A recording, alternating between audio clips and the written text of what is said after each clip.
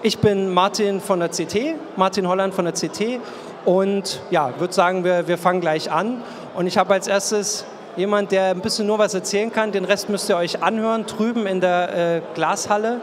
Äh, das ist Henry. Und den Rest erzählst du. Was machst du hier?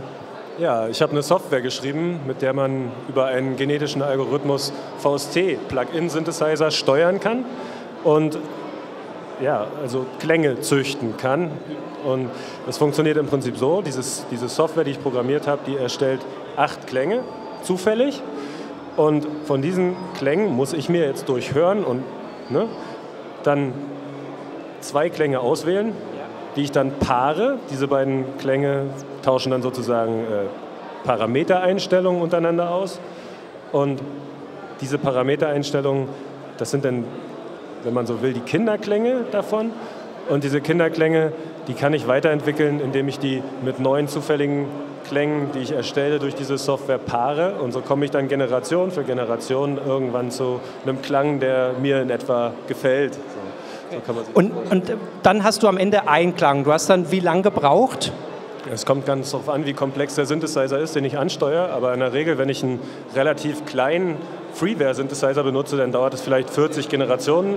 Ja, also es würde dann bedeuten, 40 mal jeweils vier Klänge anhören. Und äh, da geht schon einiges an Zeit drauf auf jeden Fall. Das ist so eine Tüftler-Sache eher. Ne? Und was machst du dann mit dem Klang am Ende? Du hast dann einen sehr besonderen Klang. Ja, die klingen in der Regel sehr ungewöhnlich, sag ich mal, ein bisschen organisch. Und äh, ja, wenn mir davon einer gefällt, dann speichere ich den ab und kann den dann in irgendwelchen Kompositionen verwenden. Und die Komposition kann man sich auch anhören? Das die kann man sich auch anhören, ja. Die gibt es online, die Adresse können wir nochmal einblenden. Die, die kann man bei dir auf Soundcloud anhören. Genau. Und wie viel hast du denn heute schon gefunden? Wie viele Klänge? Eigentlich ja, hunderte vielleicht, würde ich sagen. Also es ist ja immer so, ein, so, eine Unschärfe da drin. Man kann ja nie sagen, jetzt will ich genau diesen Klang haben oder so, sondern man tastet sich so Schritt für Schritt an die jeweiligen Klänge ran. Ne? Deswegen, die, es, es, gibt da keine Perfektion in dem Sinne. Ne? Wie lange suchst du jetzt schon Klänge? Also heute allein? Insgesamt? In, insgesamt. Die Software ist jetzt kurz bevor ich hierher gekommen bin überhaupt erst mal entstanden.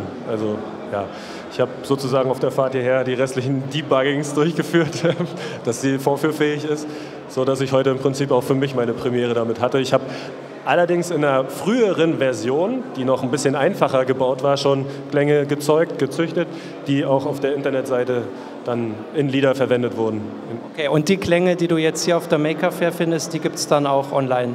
Ja, ich habe leider keine Möglichkeit gehabt, die zu speichern bisher, weil einfach immer mal jemand gekommen ist, der sich informiert hat und dementsprechend muss ich dann noch mal wieder von vorne anfangen, von der ersten Generation und da sind die Klänge dann sehr ja, kann man, kann man sich das Programm oder die Erklärung von dir auch online irgendwo angucken, wenn man es nicht mehr herschafft? Genau, ja. Äh, auf der Internetseite, die eingeblendet wurde, werde ich demnächst, jetzt innerhalb der nächsten zwei, drei Tage, dann den Download-Link auch veröffentlichen. Und da ist dann in einem Archiv dann alles, was man dazu wissen muss, drin enthalten. Also Bedienungsanleitungen, irgendwelche zusätzlichen Softwares, die man braucht. Und die Software selbst natürlich als Freeware und Open Source. Da kann sich jeder, der die irgendwie verändern will, dann natürlich auch dann an der kann, Entwicklung beteiligen. Ja. Kann dann noch suchen. Okay, also wir, es ist ja noch ein Tag da. Wenn das Video rechtzeitig da ist, kann man morgen noch mit dir Klänge suchen. Genau, ja, in der Glashalle drüben dann. In der Glashalle, super. Okay, dann gehen wir zur nächsten. Hi, Mario. Ich habe dich lang gesucht. Ähm, hallo auf der Maker Fair. Für dich ist, wir ähm, müssen erstmal die Kamera rumschieben. Womit bist du hier? Also ich bin gleich mit mehreren Projekten hier, aber ich fange erstmal mit dem äh, Exponat an, was hier vor uns steht. Und zwar ist das äh, ein Tisch, wie man unschwer erkennen kann von einer größeren Möbelkette. Und den haben wir halt äh, ein bisschen umgebaut, sodass man jetzt äh, verschiedene Spiele auf dem Tisch spielen kann. Pong, Snake, Tetris und ähm, ist auch beliebig erweiterbar. Ähm, wir sind zu dem Projekt gekommen. Das ist eigentlich, muss man dazu sagen, ein Remake von einem äh, holländischen Maker. Ähm, ich muss ein bisschen weiter ausholen dafür. Wir haben äh, in Aachen ein Dogbot-Treff. Das ist ein Treff einmal im Monat, wo ganz viele Bastler kommen und äh, sich zusammentun und austauschen. Und ähm, dort ist vor einiger Zeit der Jürgen hingekommen mit äh, einem, also der Jürgen ist, muss man dazu sagen, ähm, aus einem Verein, die in Köln äh, mit Lego Gebäude nachbauen, also ein Lego-Modellbauer. Und die haben halt äh, ein Modell in drei Meter Höhe vom Köln-Turm gebaut. Und ähm, die Beleuchtung des Kölnturms ist halt relativ langweilig. Da ist, äh, laufen ein paar Animationen ab und so weiter. Und dann hat man nach einer Möglichkeit gesucht, äh, wie man das etwas verschönern kann. Und ähm, durch äh, die Make Light Initiative vom Bundesministerium für Bildung und Forschung, die haben uns halt zusammengebracht in dem Kontext und dann haben wir halt äh, für die was überlegt, recherchiert und diesen Tisch gefunden, haben gedacht, wir können das Konzept und das Prinzip übertragen auf den Turm. Und weil es so toll war, haben wir gleich gedacht, wir bauen noch zwei von diesen Tischen dazu. Ja, was gibt es jetzt alles auf dem Tisch? Also hier laufen jetzt gerade Zahlen durch, wenn ich das richtig sehe. Ähm, ja, auf dem Tisch gibt es im Prinzip jetzt erstmal ein Menü, das läuft hier durch. Das ist jetzt Punkt 2, da steht Tetris. Und mit dem Game Controller, mit dem Xbox Controller kann man quasi zwischen den verschiedenen Menüpunkten wechseln und ein Spiel oder Animationen etc. auswählen. Kannst du es zeigen? Ja, auf jeden Fall. Ja, dann mach mal. Gucken wir mal. Also ich habe zwei davon hier, wenn ich das äh, richtig den Überblick habe, zwei von den Tischen. Wie viel Technik ist drin? Wie, wie viel Arbeitszeit? Ja, ich muss erstmal sagen, das ist nicht ein Projekt, was ich alleine gemacht habe. Das habe ich mit dem Christoph zusammen gemacht. Das ist ein Arbeitskollege von mir. Und natürlich braucht man dann zwei Tische. Man möchte ja nachher sein Wohnzimmer äh, nicht alleine verschönern. Ne? Äh, Arbeitszeit, ganz ehrlich, das, äh, der Tisch an sich, den kann man in einer Woche so bauen, wie er steht, wenn man die Teile äh, vorliegen hat. Es sind verschiedene Laser-Cut-Teile drin, es sind LED- äh, Straps verbaut, es ist ein Teensy als Controller drin, das ist relativ einfacher Aufbau. Dann haben wir noch diesen fancy äh, USB-Hub, der auf Touch rein und raus fährt, angebaut, damit es ein bisschen toller ist noch. Nee, aber im Prinzip in einer Woche ist das Projekt äh, auch, sage ich mal, für einen ungeübten Bastler sehr, sehr, einfach umzusetzen. Die ganzen Dateien, alles ist Open Source, man kann es im Internet runterladen. Ähm, ja, was wir halt prinzipiell noch gemacht haben, ist, wir haben die Software angepasst, weil wir auf dem Turm den sieht man leider jetzt nicht im Bild, aber das kann man halt auch im Internet auf äh, photonic-campus.de unter der Sparte Make Light äh, leicht finden. Ähm, da wollten wir, dass vier Spieler auf jeder Seite spielen können. Und äh, das, da, deswegen haben wir die Software noch angepasst, was leider nicht möglich war. Die Spieler können nicht gegeneinander spielen zurzeit. Das, dafür hat leider die Zeit nicht mehr gereicht. Aber das ist das Ziel als nächstes. Das ist das äh, Ziel vielleicht. Mal schauen, weil ich habe ja eigentlich auch noch ganz viele andere Projekte und ähm, äh, zum Beispiel baue ich halt momentan an einem äh, 3D-Stereolithographiedrucker. Das ist auch ein Projekt, was äh, vom Bundesministerium für Bildung und Forschung äh, und das wird unterstützt von denen. Und ähm, da will ich vielleicht noch mal sagen, ich äh, nehme da im Rahmen dieses Projekts auch am äh, Hackaday Prize teil. Die, ähm, der erste Preis ist ein Flug ins Weltall. Und es wäre eigentlich ganz toll, wenn ihr mich da unterstützen würdet. Bisschen Eigenwerbung, natürlich. Und du hast noch Projekte hier. Möchtest du noch den Rest auch noch aufzählen, wenn du schon einmal hier oben stehst? Okay, dann erzähle ich erstmal, wie ich zu dem ganzen Kram quasi gekommen bin. Das seid ihr nämlich schuld mit eurem äh, Mach flott den Schrott 2 Wettbewerb. Ja. Äh, ich habe damals, äh, ja, lachen die Leute schon, äh, die wissen nämlich jetzt, was kommt. Ich habe damals ähm, diesen Toilettenpapierdrucker aus Schrott gebaut, der halt dann äh, Facebook-Wall-Nachrichten äh, oder Tweets oder irgendwelche heiße Feeds auf, den, auf Toilettenpapier ausdruckt. Das ähm, muss noch eine kurze Sache dazu sagen. Das Witzige ist, die Resonanz ist jetzt nach vier Jahren immer noch so groß, dass ich überlegt habe, ähm, da ich ja jetzt schon fortgeschrittener Maker bin, mit Lasercutter und 3D-Drucker, dass ich überlege, das Ding nochmal neu aufzulegen und dann halt ähm, mit echten Tintenpatronen auch drauf drucken werde. Ja, nächstes Jahr. Nächste Maker Fair, möchte man sehen. Mit Sicherheit, äh, wir werden sehen. Cool, okay. Dann danke dafür. Das war jetzt auch zu sehen im Video, hoffe ich. Ich gehe jetzt mal weiter. Gucken wir mal kriege nicht so einen guten Übergang hin. Hallo Jonas. Hallo. Ähm, du, bist am, du hast am gleichen Stand gestanden, hast aber ein anderes Projekt. Was hast du mitgebracht? Ich habe euch eine 360-Grad-Kamera mitgebracht. Hier stecken sechs GoPro-Kameras in einem 3D-gedruckten Plastikkäfig und damit kann man ja, vollsphärische Panoramen aufnehmen. Vielleicht zeige ich euch das ganz kurz, äh, dass wir einmal sehen, wie das läuft. Wir gucken mal, ob wir das hinkriegen. Da, ja. Okay, erzähl, erzähl, ja. ich komme mit. Erzähl mal ein bisschen was zu. Okay, also hier sieht man einen kleinen Planeten. Ähm, das kann man mit dieser Kamera, die hier gebaut ist, eben umsetzen. Bisschen schwierig mit dem Licht, ne? So, jetzt haben wir es. Ähm, Und das hast du mit der Kamera aufgenommen, die du hier gerade in der Hand hältst? Genau, das, was man hier sieht, dieses Video, ähm, das ist mit dieser Kamera entstanden. Sechs Kameras nehmen quasi gleichzeitig auf und so kann man 360 Grad in einem Take aufnehmen. Ähm, ja, die Technik geht sogar noch ein bisschen weiter. Da kannst du jetzt, glaube ich, mal eine Runde spielen. Ich guck mal. Ähm, müssen hier alles ein bisschen beweisen. Jetzt sind wir gerade schön zu sehen.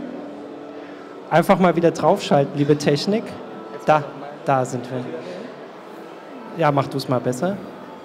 Da, da ist es. Das ist das gleiche Video, nur eine andere Abspielart. Sehe ich das richtig? Genau, man kann das Video auch auf sein Handy äh, bauen und dann die Bewegungssensoren vom Handy benutzen, um sich in diesem Video interaktiv zu, äh, zu bewegen.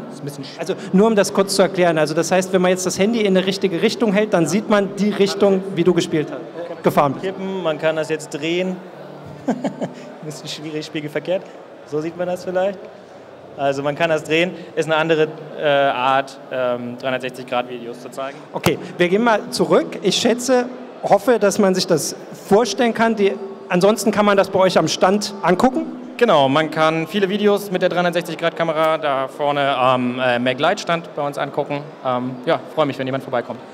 Wie lange hast du, oder wann hattest du die Idee dafür?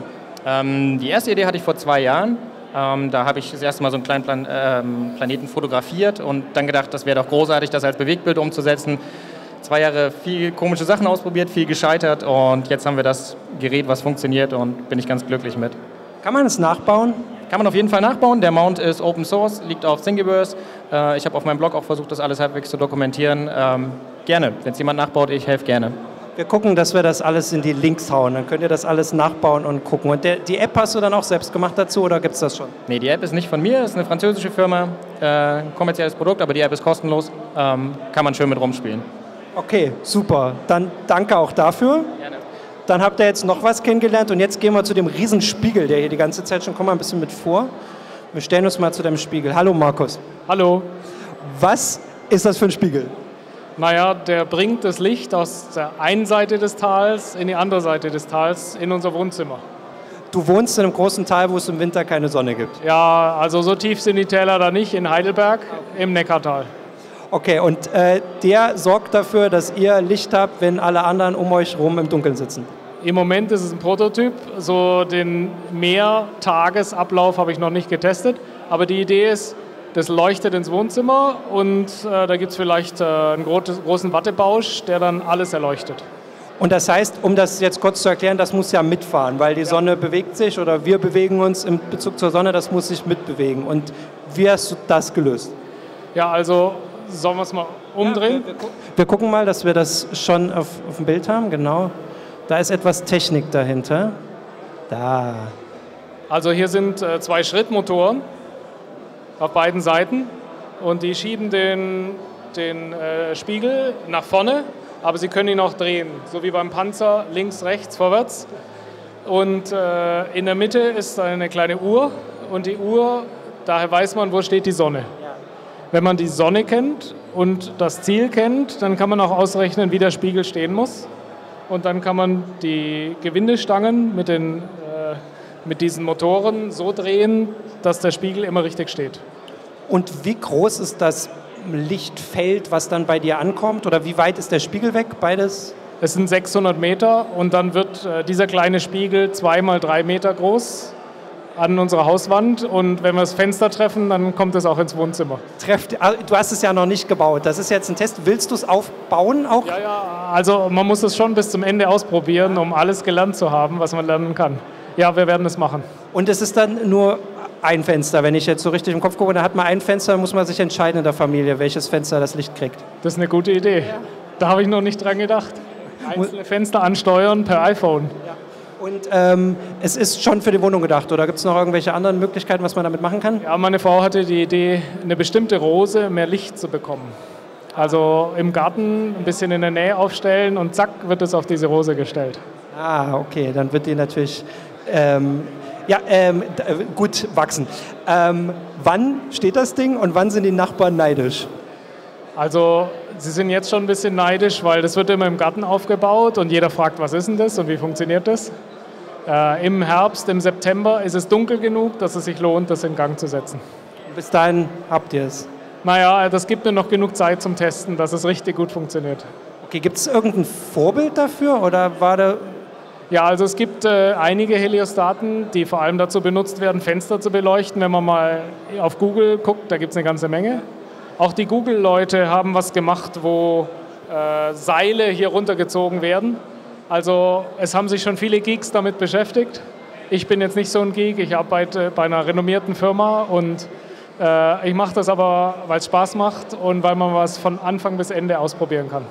Ja, und das, also das Tal ist ja sicher ein bisschen größer, also es gibt da ein paar Leute, die das auch haben wollen. Es gibt viele Interesse auch vom Stadtteilverein, auch ein Politiker hat sich schon geäußert, aber äh, wir kennen ja eine Stadt in Norwegen und in Italien, die sowas machen. Äh, das kostet schon eine ganze Menge, wenn man das nach allen Richtlinien und nach allen Sicherheitsvorschriften macht. Wie, wie viel kostet jetzt die Technik so zusammen hier, mal nicht die Arbeitszeit einberechnet? Also Servomotoren je 5 Euro. Ich habe die billigsten genommen, diese Schrittmotoren. Äh, insgesamt vielleicht 50 Euro. Und die Arbeitszeit ist natürlich unbezahlbar, aber dafür macht man es ja. Okay, kann man im Internet, hast du das irgendwo auch so offengelegt, dass Leute das nachbauen können oder bist du da noch nicht zugekommen? Das hängt vom Feedback an, wenn ihr morgen zu meinem Stand kommt, äh, Nummer 95 draußen. Ich habe schon einige Karten verteilt und es gab schon einige Interessierte. Okay, das ist doch noch ein Grund, morgen nochmal herzukommen oder jetzt gleich, ein bisschen sind wir ja noch da, könnt ihr gleich noch hinkommen. Ja, danke. Danke, danke euch auch. Dann würde ich sagen, könnt ihr zurück an euren Stand und Werbung für machen und äh, vor allem dann noch viel Spaß morgen am Sonntag. Und alle, die kommen wollen, morgen ist auch noch was los hier. Danke.